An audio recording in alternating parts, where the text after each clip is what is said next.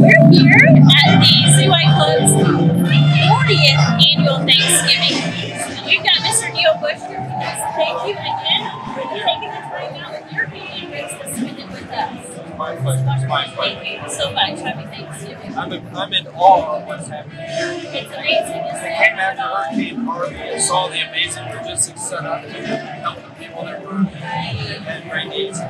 You see the volunteers, now they're greeting people as they're coming in. They're about to feed thousands of Houstonians. It's, it's an incredible. My, my dad would call all of these volunteers points of light for pitching back and being a point of light in the lives of others. And uh, what a blessing. We want to thank you for being a part of that with us today. And we look forward to seeing you again, you know, in the future. So thank you again. My Happy pleasure. Thanksgiving to you and yours. Thank you very much. Thank you.